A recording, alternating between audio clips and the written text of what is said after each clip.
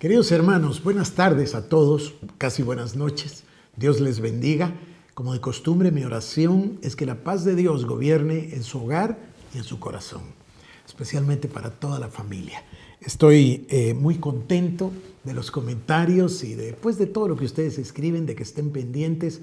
Creo que el mensaje del día domingo, ayer, eh, abre una puerta para nosotros. Abre una puerta escatológica, abre una puerta para que podamos nosotros llegar a profundizar y entender las palabras de nuestro amado Señor Jesucristo en Mateo capítulo 24 y Lucas capítulo 21 en especial, porque para mí que Mateo 24 es um, pivotal, fundamental. Nosotros, por supuesto, hablamos de Jesucristo como el Hijo de Dios, desde luego hablamos como el Dios encarnado, hablamos como el Mesías, hablamos como el ungido. Por supuesto, hablamos como el segundo miembro de la Trinidad. La deidad de Cristo la tenemos clara. Luego entramos a la humanidad de Cristo y lo vemos nosotros caminando en la tierra, siendo tentado por el diablo, le encontramos también haciendo lo que hacían los judíos, lo vimos en el templo desde que lo dedicaron sus padres a los 12 años, etcétera. Entonces, también nos empapamos de la personalidad del Cristo, o más bien diría de Jesús como ser humano. Pero luego yo veo que no hacemos hincapié en el ministerio de Él y en sus dones. En alguna ocasión nosotros ya hemos estudiado los dones del Espíritu Santo, todos los dones funcionando en el Señor Jesucristo. El discernimiento de espíritus, el echar fuera demonios, el sanar a los enfermos. Hemos ido viendo la palabra de sabiduría, la palabra de conocimiento, etc. Hemos visto al Señor en sus dones. Por supuesto, todos nosotros le reconocemos como maestro. Y por supuesto que si Él educa a los apóstoles, es un apóstol y maestro y pastor. Pero a veces como que se pasa de largo lo que otras religiones subrayan de él, porque el Islam lo que subraya es que él fue un profeta. Y en realidad lo fue. Y el capítulo 24 es así, del Evangelio según Mateo, es así como el clímax de ese ministerio profético. El Señor Jesús toma todo el Antiguo Testamento, porque ustedes saben que cita Daniel, cita Ezequiel, bueno, cita todo el Antiguo Testamento, en realidad el Señor, en, los Evangelios. Pero en ese capítulo particular cita a Daniel y trae todas las profecías mesiánicas, todas las, no, perdón, no profecías mesiánicas, discúlpeme, todas las profecías de los últimos tiempos, porque esa es la pregunta, justamente, ¿no? Sus discípulos le dicen, dinos, ¿cómo será? ¿Cuándo será? Entonces, toma las profecías de los últimos tiempos, las arregla para que las pueda entender sus discípulos y nosotros, y luego las traslada hasta el día del fin. Para mí esos versículos 6, 7 y 8 del Evangelio según San Mateo capítulo 24 son verdaderamente importantes. En un momento él dice, vas a huir de guerras, no te preocupes que no ha llegado el fin. Claro, no ha llegado todavía el fin. Algunas Biblias, algunas uh, Biblias, no, perdón, algunas versiones, algunas traducciones dicen, no ha llegado el fin de la era. Claro, todavía falta. Y el versículo 7 lo dice, cuando oigas de nación contra nación, reino contra reino, plagas, terremotos en muchas partes, entonces comenzarán, o será, dice en, la nuestra, en nuestra versión en español, principio de dolores. Tomamos una versión en inglés, dice clarísimo, principio de dolores de parto. Ahí es de donde sacamos, ¿se acuerda usted? La ley de la aceleración y la exponencialidad. Comienzan esas contracciones cada vez más frecuentes y más fuertes. Yo creería, es mi criterio, que nosotros ya comenzamos. Como le dije, yo, según yo, ya comenzaron esos dolores de parto. ¿Cuánto pueden durar? No lo sé. Anoche yo tenía una conversación con Cecilia al respecto y Cecilia me recordaba que también hay unas contracciones al principio y me dio un nombre eh, no recuerdo cómo me dijo, algo así como contracciones falsas o engañosas. Parece que inició el trabajo de parto, pero todavía no ha iniciado y después inicia. Bueno, ella como madre, por supuesto, sabe más que nosotros los varones y me lo estaba diciendo. Eh, es posible. Sin embargo, yo creería, mi criterio, otra vez personal, de que ya estamos nosotros en el versículo 7. Es decir, ya comenzaron los dolores de parto. Bueno, lo importante para mí, recuérdelo, no es llenarnos la cabeza de datos, sino llenarnos el corazón de Cristo. Eso es lo que a mí me interesa. A mí lo que me interesa en realidad trasladarle a usted, así me siento. Si me lo pregunta y puedo pecar de falta de modestia, de verdad me siento como un profeta que clama en el desierto. O sea, yo, mi fin, mi objetivo, mi meta, lo que siento, mi llamado, mi ministerio es llamarle a usted a acercarse a Cristo de todo corazón, con toda su mente, con toda su alma, con todo su corazón y con todas sus fuerzas. Que usted se entregue a Jesús espíritu, alma y cuerpo y que nosotros nos preparemos. Porque en Apocalipsis la palabra de Dios dice, ¿verdad? Ya van a ser las bodas y la novia se ha preparado. A mí, a mí eso me, me entusiasma, se ha preparado. Debemos prepararnos. Entonces, yo quiero comentarle algo. Estoy bastante impresionado porque unos amigos nuestros, una amiga que, apreciamos muchísimo, a Harold y a mí, nos mandó un mensaje y nos mandó un video de un sueño de un pastor.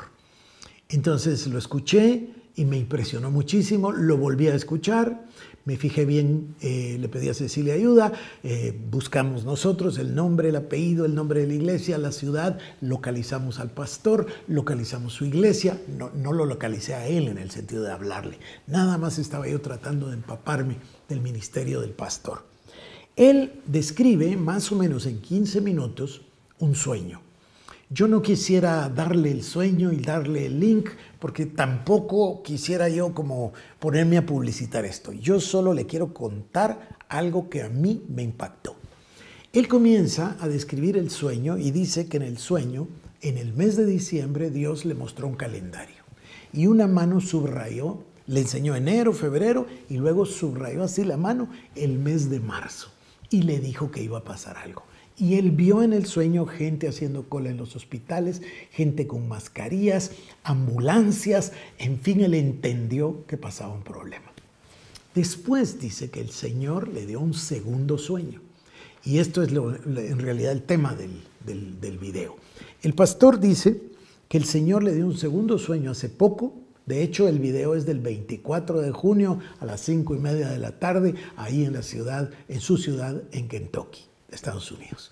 Entonces dice que en el segundo sueño volvió a ver el calendario y que él ya había visto marzo, abril y mayo y junio, ¿no? Ahora vio junio, julio y agosto, o creo que vio julio, agosto y septiembre, así fue.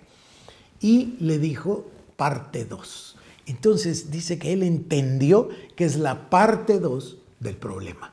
Y vio, no solamente vio a los enfermos, las ambulancias, lo que le había dicho, sino que empezó a ver violencia personas contra personas atacándose, personas que tenían y estaban levantando los brazos rifles o armas, y vio gente ah, eh, con mucha violencia, y vio ciudades eh, con mucha policía, en fin, eso ya lo estamos viendo en la televisión nosotros, especialmente en Estados Unidos.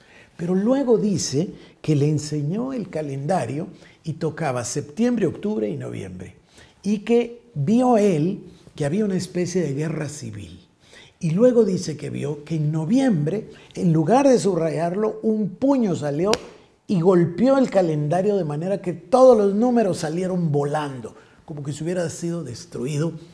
No lo sé, yo no quiero interpretar, solo voy a seguirle contando. Entonces él dice que en el sueño vio que habían iglesias eh, a las que habían incendiado, habían incendiado edificios, vio los bancos y dice que como que hubieran quitado el techo del banco y el dinero subía como que tuviera una gran aspiradora, dice él, el dinero volaba y él entendía que la riqueza se deshacía, se desvanecía.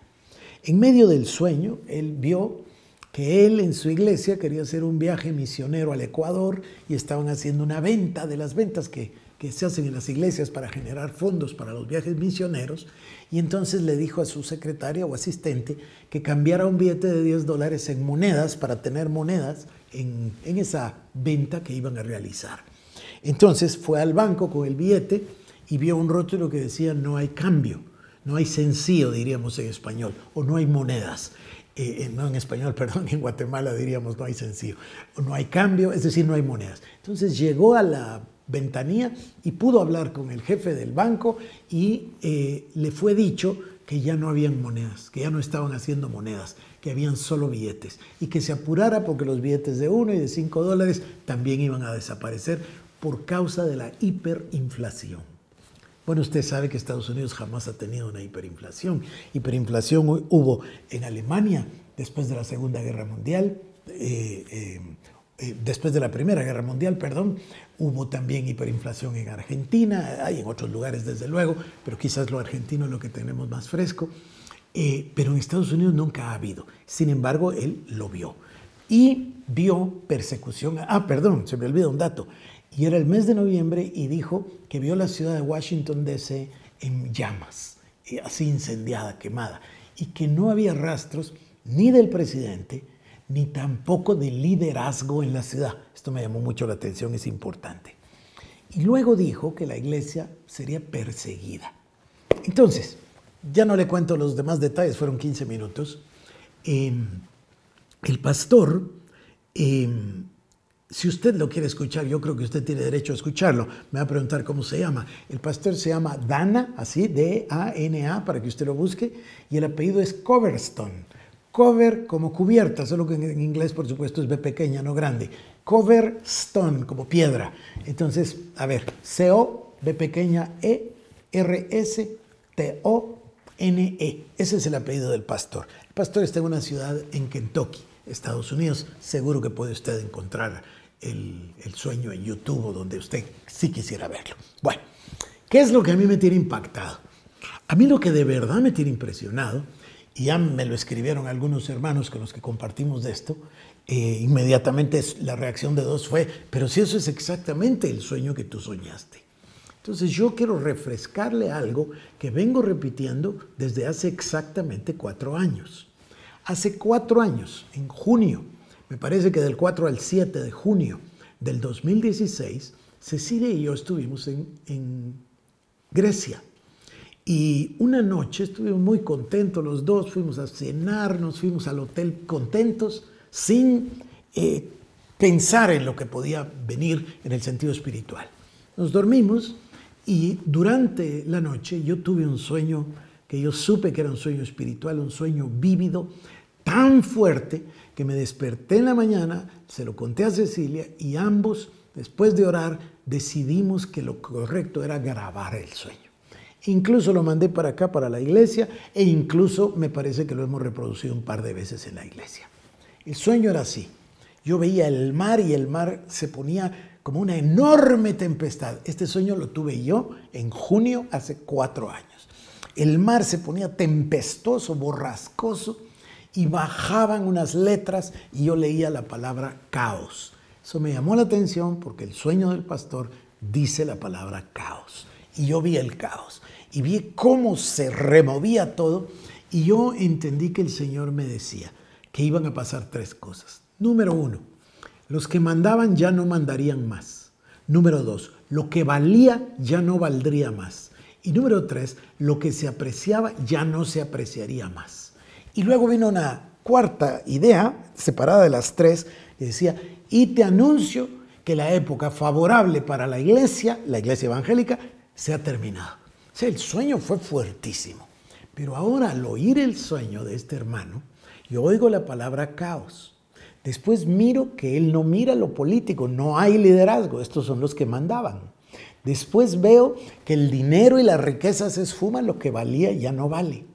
Después veo que él, y él lo dice, de la paz, la justicia, la libertad, es decir, los valores de esa sociedad, y él habla incluso de una guerra civil en Estados Unidos, habla de haber visto en su sueño tropas chinas, tropas rusas e incluso cascos azules de las Naciones Unidas tratando de asegurar áreas. Es un sueño verdaderamente fuerte.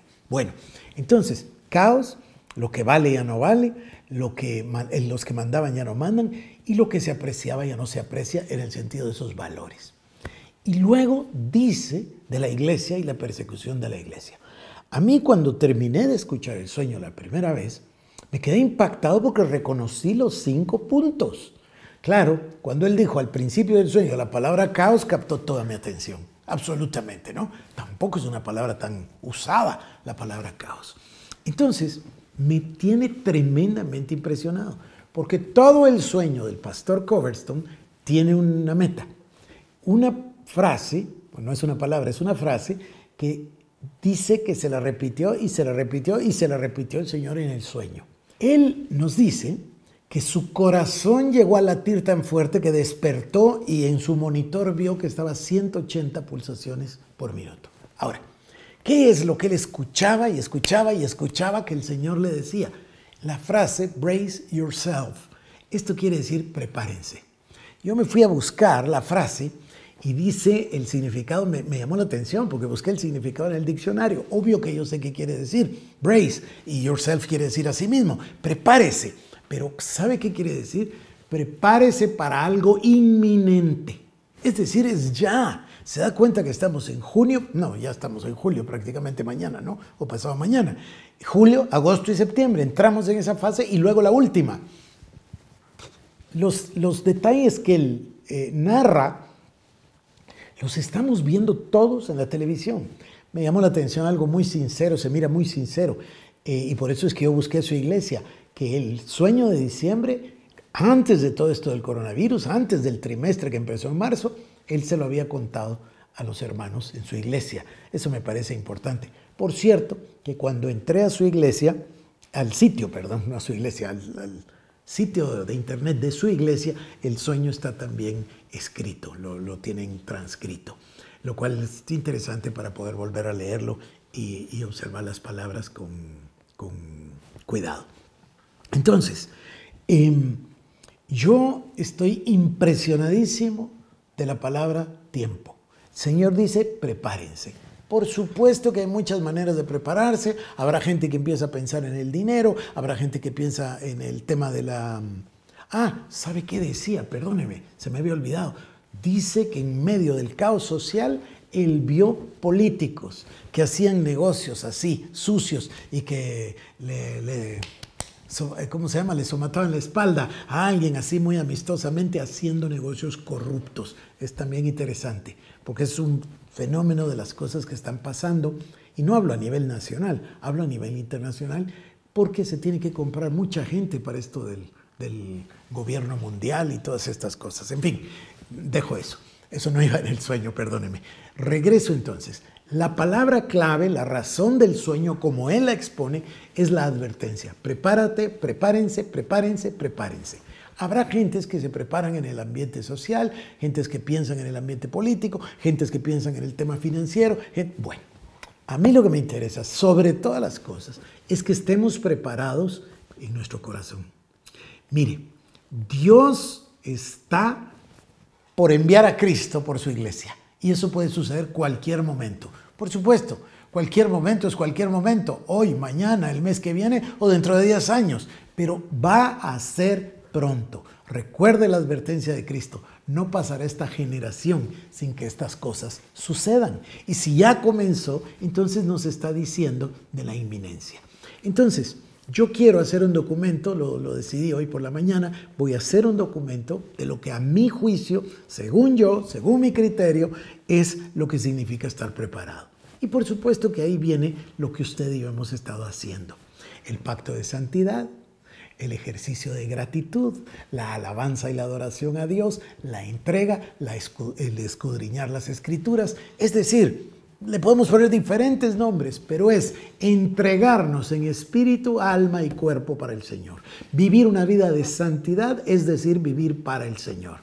En el próximo programa, nosotros vamos a hacer hincapié en el objetivo del libro de Ezequiel y el objetivo del templo de Ezequiel, porque esos capítulos, esos capítulos 40 al 42 y después del 43 al 48 de Ezequiel son muy importantes. Se describe en detalle el templo. Entonces la pregunta es 100% válida. ¿Es ese el tercer templo? Bueno, algunos de nosotros pensamos que no. Algunos pensamos que no por razones bastante sencillas. Algunos pensamos que si el pueblo judío puede construir el tercer templo, sin duda lo va a hacer con el modelo del primero y el segundo. Seguramente. Entonces, aparte hay una palabra que le voy a leer en Zacarías de que es el renuevo, el que va a construir el templo y se va a sentar y va a gobernar. El renuevo es Cristo. parece hablar de un templo milenial. En fin, me estoy adelantando a mí mismo. Quiero terminar acá.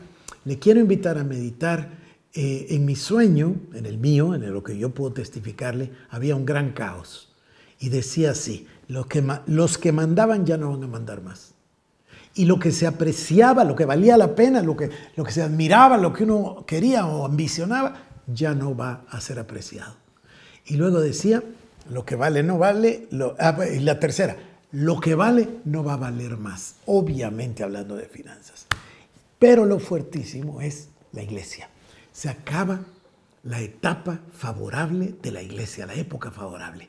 Porque usted debe entender que estamos viviendo nosotros en toda América Latina y en muchos países un tiempo muy favorable. Ha crecido y crecido la iglesia numéricamente, ha crecido en todo sentido, pero dice que se va a terminar. Y, por cierto, yo un día se lo puedo hacer el recuento, estoy al, estoy al día, trato de mantenerme al día. La persecución de la iglesia es gigante, sobre todo en países como Corea del Norte, en, los países islámicos. Hay una persecución terrible. Vea usted el caso de los refugiados cristianos en Siria. Es una persecución terrible. Ya eso ya comenzó. Y solo va a crecer. Porque si usted se fija en esta contracultura, que por cierto quiero hablarle un minuto de este tema, es muy importante. En esta contracultura ahora resulta que lesbianas, gays, es que no me sé todo, bisexuales, transexuales, creo que esos son, ¿verdad? LBGT o TG, bueno, eso es ahora lo de moda. Y ahora ser cristiano es lo que está mal. ¿Qué pasó? ¿A qué horas dio vuelta la cosa? Entonces ahora el pecado, el divorcio, el aborto, el GTB, todas esas cosas son ahora la corriente. Y nosotros ahora pasamos a ser la contracorriente o la contracultura. Bueno, es natural. Piense usted en todos los discípulos. Piense cómo murieron 11 de los 12 apóstoles, como mártires. Piense usted en la mamertina, a esa prisión que tenía. Estaba en el sótano y todavía había un sótano debajo del sótano y ahí estaba el apóstol Pablo siendo perseguido. El único que no murió eh, como mártir fue Juan y sin embargo lo torturaron en su, en su edad avanzada antes de morir. Entonces, nosotros estamos de ese lado, eso somos la iglesia. Sin embargo, le tengo una, una idea aquí, un concepto. Yo tengo una hermana en la iglesia que aprecio muchísimo y siempre platicamos. Y por ahí nos tomamos un café y nos queremos muchísimo. Eh, yo quería tanto a su esposo, ya no está con nosotros, pero eh, somos muy amigos. Éramos muy amigos los cuatro, ahora somos muy amigos. Las dos parejas, ahora somos muy amigos los tres. Y hablamos por teléfono, siempre hablamos. Y me hizo un comentario que me pareció maravilloso. Me dijo, es que mira, yo la verdad es que oigo que la gente está angustiada, que la gente está preocupada. Yo no, me dice ella a mí. Yo no, yo al contrario, estoy pasando un momento lindo, estoy alabando a mi Señor, estoy adorando, estoy estudiando, estoy leyendo. Y me dice esto. Tengo 92 días, eso fue hace como una semana, tengo 92 días de no ver televisión. A mí todo el mundo me habla de Netflix, todo el mundo me habla de las series. No, no, no, dice, yo quiero estar con mi Señor. Bueno, fíjese lo que yo le voy a decir. ¿Quién es o de dónde sale o quiénes son o qué institución es la que ha acostumbrado a la gente y le ha ido lavando el cerebro durante décadas y décadas para que acepte todo esto. ¿Qué es todo esto? Todo esto es lo de LGTB o BT, todo esto es lo del divorcio, todo esto es lo del aborto, todo esto es lo que Dios no existe, todo esto es lo del ateísmo, y no solo eso, sino que también entonces zombies y vampiros, es decir, comunión con los demonios. Eso es, comunión con los gigantes o comunión con los demonios, es lo mismo lo que le hablaba el domingo. Ya vamos a profundizar en eso. Entonces, ¿quién es la institución que viene acostumbrando a todos los seres humanos en toda la tierra? Bueno, pues se llama Hollywood. De ahí sale todo esto. Mire, usted vaya a ver películas de 1930. Era una cosa seria la familia, la institucionalidad. Yo no le estoy diciendo que no era pecado, pero no estaban poniéndolo en la pantalla todo el día. Para mí que es notorio que había una artista que era la artista del momento, una señora bellísima que hizo una película que es de mis favoritas que se llama Casa Blanca. Ella se llamaba Ingrid Bergman, una señora lindísima, y dejó al marido para irse con un italiano que se llamaba Roberto Rossellini. ¿Y sabe qué hizo Hollywood? no pudo aceptar que ella dejara al esposo y entonces la sacaron y nunca más hizo otra película. Porque ¿cómo va a ser posible que rompiera el matrimonio? Sí, pero eso hace 80, 90 años. Mire ahora. Todas las perversiones salen de ahí. Es decir, no es que ahí se originan las perversiones, pero por ahí no las mandan por la pantalla a todo el planeta. Y lo malo es que nosotros, que estamos diciendo que queremos santidad y que estamos diciendo dedicación a Cristo, nos dejamos que esa cultura entre a nuestros hogares y peor aún, a nuestros hijos. Entonces, es una palabra de advertencia mía. Usted no puede estar recibiendo todo lo que dice el diablo y después tratar de leer su Biblia. No es así la cosa. Usted tiene que dedicarse. Ahí sí que como dijo, ¿verdad? El profeta en el monte Carmelo. Bueno, si Jehová es Dios, entonces servidle a Él. Si Baal es Dios, entonces servidle a Él. Pero no se puede servir a los dos. Hay que tomar una decisión del corazón. Mañana continúo con el tercer templo. Dios le bendiga.